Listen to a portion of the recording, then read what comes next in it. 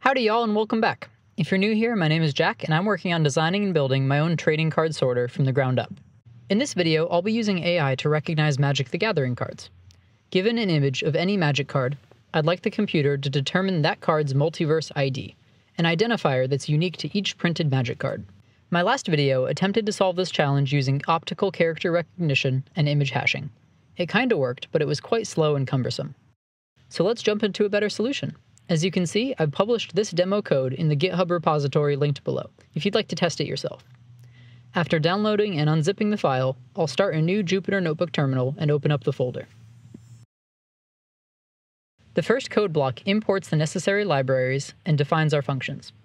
I'm not going to go into detail about how this all works, I really just want to show the results here.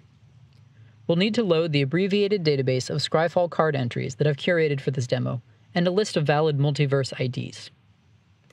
From this list, we'll then select 100 random cards to use for the demo. The next step takes a while, and as it's running, I'll try to explain what's going on.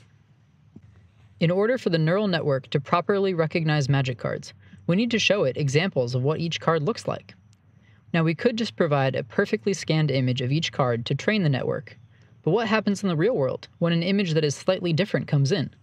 The network likely won't be able to recognize that card. To solve this issue, the code will make a number of distorted copies of each card. These copies may be rotated, desaturated, contrast adjusted, or even flipped upside down. All distortions are done at random so that the network will be able to properly recognize a card that isn't perfectly photographed. For each of the 100 cards in our randomly chosen sample set, I've saved three perfect scan copies and seven distorted copies. These cards are saved locally so that we can see them, but more importantly, they are converted into a single array that the neural network can interpret. The next code cell deploys the convolutional neural network on the generated image arrays. I admittedly am no expert here, so if you'd like to learn more about what's actually going on, see the link above. Generally though, the computer is using the images that we've created to find patterns and recognize features that are similar between cards. Training this network takes a significant amount of time and computing power, but actually using it will be much faster. It's also important to note some of the limitations of convolutional neural networks here. We're only asking it to learn what 100 magic cards look like. There are around 70,000 unique printings of English magic cards alone, and this exact process won't work at that scale for a wide variety of reasons. I'll fast forward through the rest of the training here, and at the end, you can see that it took around 17 minutes to train the network on just 100 images. As we move through epochs, or training cycles, you'll see the accuracy increases drastically. After the first cycle, the model had an accuracy of about 1%. After the fourth cycle, the accuracy is already close to 75%. Also interesting to note is that our accuracy reading exceeded 99% at the eighth epoch, meaning that the last two cycles didn't really add that much value.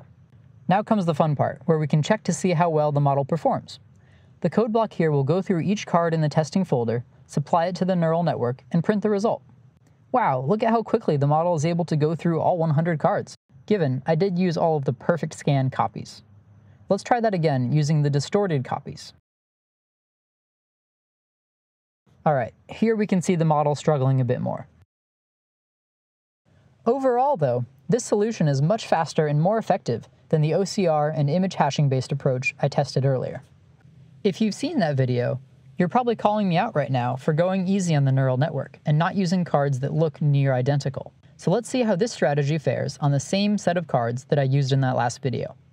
I'll first load that list of multiverse IDs, and then again process the images for use in the neural network. You can see now that we have quite a few cards that look very similar, even though they have different multiverse IDs. The card set that I'm using this time contains all printed versions of the cards Cancel, Llanowar Elves, and Giant Growth. I chose these cards in particular because they each have been printed multiple times. These printings may look similar, but have different multiverse IDs, making it a good challenge for any card recognition software to tell them apart.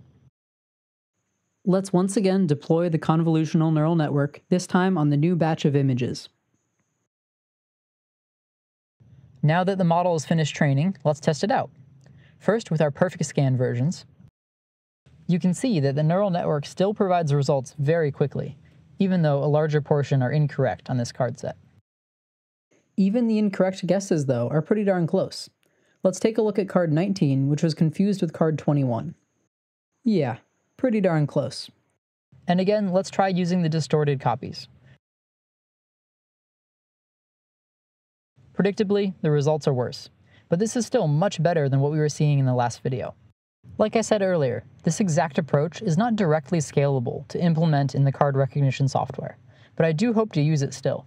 My next video will be focusing more on the physical design of the card sorter, but after that, I'll be talking more on the software side. I've linked a sign up for the project email list below, and be sure to subscribe as well if you're enjoying the content. That's all I have. Thanks for watching, and see you next time.